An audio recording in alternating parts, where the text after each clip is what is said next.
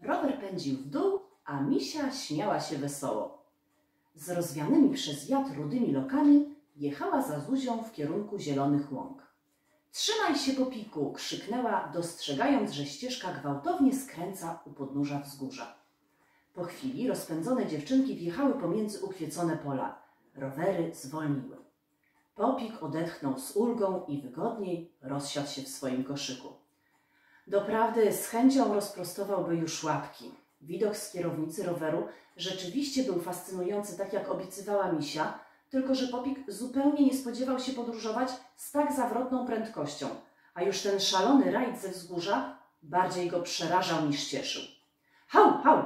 szczeknął nieco obrażony. Nie przesadzaj, Popiku, roześmiała się Misia. Nie jechałyśmy aż tak szybko, po prostu z górki. Ale nie martw się, zaraz będziemy na miejscu i wtedy będziesz mógł wybiegać się do woli. Psiak nieco nieufnie spojrzał na dziewczynkę, ale po chwili uspokoił go głos Zuzi. Tak, tak, zaraz będziemy. Zobaczcie, mój dom stoi tuż za tym zagajnikiem na skraju lasu. Czarnowłosa dziewczynka z krótką czuprynką i oczami w kolorze nieba wskazała na kraniec łąki. Pomiędzy brzozami można już było dojrzeć czerwony dach leśniczówki. To właśnie tam zmierzały koleżanki, które poznały się rok wcześniej na plaży i bardzo się polubiły.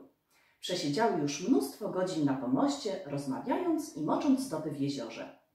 Obie lubiły truskawki, towarzystwo swoich psich przyjaciół i obie uwielbiały malować.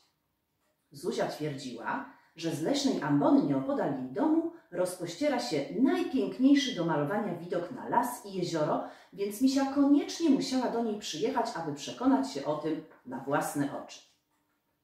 Dziewczynki zostawiły rowery w ogrodzie, pobiegły do domu po farby i poszły w stronę ambony. Gdy wspięły się na górę, Misia wydała okrzyk zachwytu. Ojej, Zuziu, miałaś rację, tu naprawdę jest cudownie. Widać drugi brzeg jeziora i piękną polanę w lesie. Popiku, chcesz zobaczyć? Jednak Popik tylko prychnął z niechęcią, odwrócił się w drugą stronę i zaczął węszyć wokół ambony. Doprawdy, co ta misia znów wymyśla? Po rowerowej przejażdżce on ma zdecydowanie dość widoków z góry. A jeszcze czeka go droga powrotna. O nie, woli zostać tutaj na ziemi i pozwiedzać okolice. Gdy dziewczynki zabrały się za malowanie, piesek zainteresował się zapachami w trawie. Wyczuwał tu mnóstwo interesujących tropów. Niektóre z nich czuł po raz pierwszy. Dziewczynki powoli kończyły swoje dzieła. Brakuje mi tylko kogoś na tej polanie. Misia krytycznie spojrzała na swój obrazek. Może narysujesz tę parę z psem? Zasugerowała Zuzia, wskazując koleżance wchodzących do lasu kobietę i mężczyznę. Wokół nich biegał olbrzymi czarny pies. Zobacz, jaki on ogromny, prawdziwy niedźwiedź, zachichotała. Nie, nie, zaprzeczyła Misia. Wolałabym mieć na tej polanie leśne zwierzę. Tylko nie mogę się zdecydować. Zuzia już miała podsunąć koleżance jakiś pomysł, gdy nagle od strony leśniczówki dotarł do nich donośny szczek. To mój barik, zauważyła Zuzia, przygryzając koniec pędzelka. Dlaczego tak szczeka? Misia wsłuchała się uważnie w dobiegający głos. Chyba zauważył coś niepokojącego. Zdaje mi się, że nas woła. Pewnie zobaczył tych turystów z wielkim psem, stwierdziła po namyśle Zuzia i zanurzyła pędzel w zielonej farbie. Maluj dalej, misiu. Barik zawsze donośnie szczeka, gdy widzi kogoś obcego.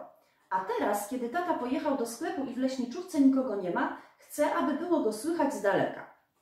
Misia posłuchała koleżanki i zabrała się za malowanie nieba. Głos Barika na chwilę ucichł, ale po chwili znów odezwał się ze zdwojoną mocą. Dziewczynka wyraźnie słyszała, że pies chce im coś pokazać.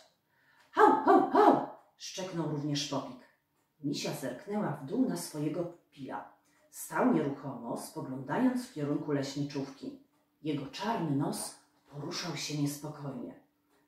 Tu chyba nie chodzi o turystów, stwierdziła Misia, zakręcając słoiczek z niebieską farbą. Zobacz, Zuziu, oni właśnie wracają i mają psa na smyczy, a Popik też wygląda na zaniepokojonego. Lepiej chodźmy sprawdzić, co się dzieje. Dziewczynki wrzuciły farby do plecaków i zwinęły swoje obrazki. Popik, Gdy tylko zauważył, że schodzą z ambony, pognał przed siebie. Misia i Zuzia pobiegły za nim. Kiedy znalazły się przy leśniczówce, zauważyły, że Baryk niespokojnie wierci się w swoim końcu. Nadal nie przestawał szczekać. Nic nie rozumiem, przyznała Zuzia. Co się stało? Przecież tu nikogo nie ma. Wtedy usłyszały jeszcze jeden odgłos. Coś szamotało się w oddali i dziwnie prychało. Popik popędził za dom. Chodźmy, zawołała misia i pobiegła za nim. Na początku dziewczynka nie dostrzegała niczego niepokojącego. Teren wokół leśniczówki był rozległy, w większości porośnięty drzewami. Gdyby nie siatka, trudno byłoby dostrzec granicę pomiędzy lasem a działką. A jednak coś tu się zdecydowanie działo. Misia i Zuzia coraz dokładniej słyszały te podejrzane dźwięki. Szarpanina trwała w najlepsze, a ogrodzenie dziwnie drgało. Popik był już prawie na końcu działki, gdy nagle stanął zaniepokojony pod gęstym krzakiem leszczyny i zaczął niecierpliwie kręcić się w miejscu. Hał, hał! Zaszczekał ostrzegawczo i w tym samym momencie na chwilę zaległa cisza. Przestraszył się, szepnęła misia i nieco zwolniła kroku. Zuzia chwyciła ją za rękę i teraz obydwie zbliżały się do popika. Zapiszczał cichutko biały piesek, pokazując misi, że to coś, co go niepokoi, znajduje się po drugiej stronie krzewów. Dziwne dźwięki odezwały się ponownie. Misia rozchyliła gałęzie i wtedy go zauważyła. Och! westchnęła ze współczuciem. Po drugiej stronie siatki stał brunatny jeleń i budł porożem w ogrodzenie.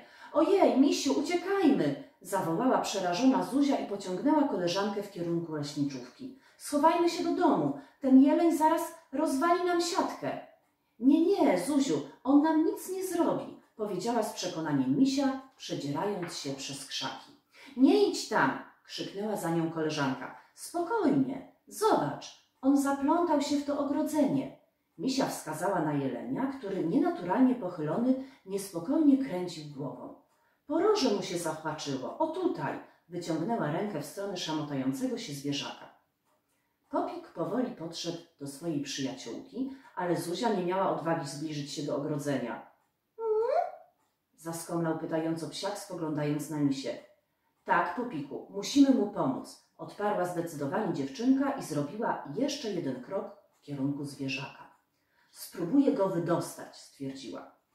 Jednak gdy zbliżyła się do jelenia, ten zaczął szamotać się jeszcze mocniej. Drewniane pale, do których przymocowana była siatka, zatrzęsły się niebezpiecznie. Misia zatrzymała się w miejscu. Jeleń był naprawdę duży i za wszelką cenę próbował się wydostać. Rrrrum! zaryczał przeciągle. Denerwujesz się, biedaku, nic dziwnego, wyszeptała ze współczuciem, patrząc na uwięzione zwierzę a potem odwróciła się w kierunku koleżanki i powiedziała: Zuziu, sama nie dam rady go wydostać. Wydaje mi się, że tę siatkę trzeba będzie przeciąć. Czy twój tata pojechał gdzieś daleko? Nie, wyjaśniła koleżanka, nie mogąc oderwać przerażonego wzroku od jelenia. Na rowerze dojedziemy tam w pięć minut. To jedź po niego jak najszybciej. A ty? Zuzia z niepokojem spojrzała na misie. Chyba nie zamierzasz tu zostać sama. Muszę, odpowiedziała pewnym głosem misia. Spróbuję go trochę uspokoić. Nic się nie bój, uśmiechnęła się do czarnowłosej koleżanki. On mi nic nie zrobi, przecież jest po drugiej stronie ogrodzenia. Ale Zuzia próbowała jeszcze protestować, lecz misia była nieugięta. Wracajcie jak najszybciej, poprosiła. On się tu naprawdę bardzo męczy. Zuzia spojrzała jeszcze raz na zwierzaka, a potem odwróciła się i popędziła po rower. Uff, odetchnęła misia i zwróciła się do jelenia. Teraz możemy spokojnie porozmawiać. Jeleniu, odezwała się nieco głośniej, podchodząc do ogrodzenia. Jeleniu, wyciągnęła rękę i delikatnie dotknęła poroża. Zwierzak przestał się szamotać i spojrzał na mnie się z podełba. Nic się nie bój, mówiła spokojnym głosem. Chcemy pomóc ci się stąd wydostać. Wiem, że jesteś zdenerwowany, ale nie szarp się już, proszę. Zobacz, to nic nie daje, a jesteś tylko coraz bardziej zmęczony. Jeleń niespokojnie poruszył tylnymi kopytami. Gwałtownym ruchem spróbował jeszcze raz uwolnić się z pułapki, ale jego wysiłek nie zdał się na nic. Widzisz, to nie ma sensu, próbowała uspokoić go Misia.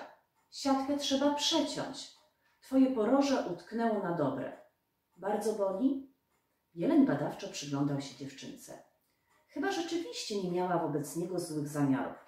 Rrr, rrr, rrr, zaryczał kilkakrotnie, a jego brązowe oczy wypełniły się łzami. Nie martw się, nie zostaniesz tu na zawsze, pocieszała go Misia. Musisz tylko chwilę poczekać, moja koleżanka sprowadzi pomoc. Niestety, sama nie dam rady cię uwolnić, dodała z żalem i powoli wsunęła rękę pomiędzy oczka siatki, a potem pogłaskała jelenia po brunatnym pyszczku. Potrafię leczyć zwierzęta, ale nie mam tyle siły, żeby przeciąć te druty. Jeleń uspokoił się i pozwolił misi pogłaskać się po pyszczku. Nawet nie sądził, że przyniesie mu to chwilową ulgę. Co się stało? zapytała zatroskana dziewczynka. Ktoś cię wystraszył? Nie zauważyłeś tej siatki? Jeleń potakują, potakująco mrugnął oczami, a potem zaczął porykiwać. Już rozumiem, powiedziała misia. My też go widzieliśmy, prawda, Popiku? Ten czarny pies rzeczywiście był ogromny i niestety biegał bez smyczy. Nie dziwię się, że się wystraszyłeś. Ale nie martw się, już odszedł ze swoimi opiekunami, dodała pocieszającym tonem. Hał, hał, odezwał się nagle Popik. Masz rację, że też o tym nie pomyślałam. Pewnie chce ci się pić. Spojrzała pytająco na jelenia, a gdy ten przytaknął, rozejrzała się dookoła.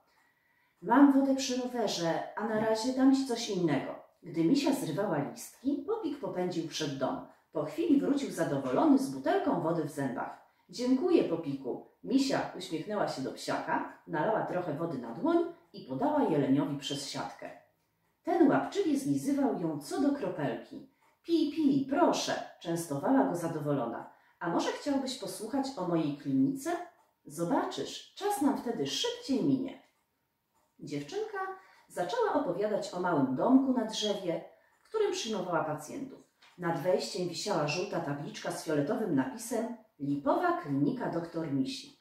W środku był stół do zabiegów, opatrunki, lekarstwa i zeszyt, w którym zapisywała wszystkich swoich pacjentów. Misia właśnie kończyła opowiadać Jeleniowi o zaplątanej w drut sowie, kiedy nagle usłyszała dzwonek roweru i głos Zuzi. Już jesteśmy, Misiu! Dziewczynka pogłaskała uspokajająco Jelenia i powiedziała cichutko. Nic się nie bój. Tata Zuzi przetnie siatkę i będziesz mógł wrócić do lasu. Tylko proszę, nie kręć się i stój spokojnie. To naprawdę nie będzie bolało. Zwierzak mrugnął na znak zgody, a misia ostatni raz pogłaskała go po pyszczku. Oj, oj, oj, do siatki zbliżył się tymczasem leśniczy. Ale utknąłeś. Pan Marek pokręcił głową ze zdumieniem. Mam nadzieję, że nie trzeba będzie cię uśpić. Zuzia mówiła, że strasznie się szarpałeś. Nie, nie, zaprzeczyła żywo misia. On teraz będzie spokojny. Od dłuższego czasu w ogóle się nie rusza. Poza tym jest już bardzo zmęczony. No dobrze, leśniczy uśmiechnął się do misi. Też wolałbym tego nie robić. Spróbujmy więc przeciąć ogrodzenie. Tylko uważaj, tato! Zuzia z niepokojem obserwowała, jak leśniczy zbliża się do ogrodzenia z wielkimi obcęgami i zaczyna przecinać drut.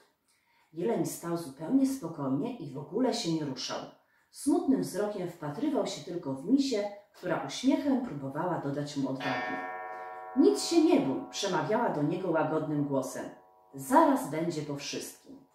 I rzeczywiście, już po chwili jeleń mógł wydostać się z pułapki. Z ulgą wyprostował szyję, pokręcił głową, a potem gwałtownie zerwał się z miejsca i popędził do lasu. Udało się, ucieszył się leśniczy. Masz, misiu, jakiś niezwykły dar uspokajania zwierząt. Ten jeleń wpatrywał się w ciebie jak w wybawcę. Pogłaskał dziewczynkę po głowie, a potem spojrzał na dziurawe ogrodzenie i bezradnie rozłożył ręce. A teraz powiedzcie mi, kto to naprawi? Tego wieczoru misia usnęła w mgnieniu oka. Dzień dostarczył jej mnóstwo wrażeń. Rowerowa wycieczka, malowanie na ambonie, spotkanie z jeleniem, podwieczorek u Zuzi, a potem jeszcze o wszystkim musiała opowiedzieć dziadkom. Popik też usnął od razu. Podróż w koszyku była doprawdy wyczerpująca. Na szczęście w drodze powrotnej ścieżka pięła się pod górę i misia jechała już dużo wolniej. Psiak leżał teraz wyciągnięty na dywaniku obok łóżka dziewczynki i śnił, że biega ze swoją przyjaciółką po zielonej łące. Nagle usłyszeli przeciągły ryk. Jeden i drugi. Popik zaczął się wiercić przez sen. Aż nagle zerwał się, bo zrozumiał, że ten ryk wcale mu się nie śnił. Usłyszał go przecież ponownie. Misia również się przebudziła. Spojrzeli na siebie porozumiewawczo i szybko podbiegli do balkonowego okna. Jasny księżyc dokładnie oświetlał pobliską łąkę, a na jej środku stał duży jeleń z okazałym porożem. Misia wiedziała, że to on. Przyszedłeś, ucieszyła się, wychodząc na balkon i pomachała zwierzakowi ręką. Jeleń spojrzał wprost na nią, jeszcze raz ryknął w podziękowaniu, a potem odwrócił się i pobiegł w kierunku lasu. Ale miło, westchnęła misia, wracając do łóżka. I wiesz co, Popiku? Już wiem, kogo namaluję na leśnej polanie. Hał, hał? zaszczekał pytająco psiak. Dokładnie, ten jeleń będzie tam najlepiej pasował.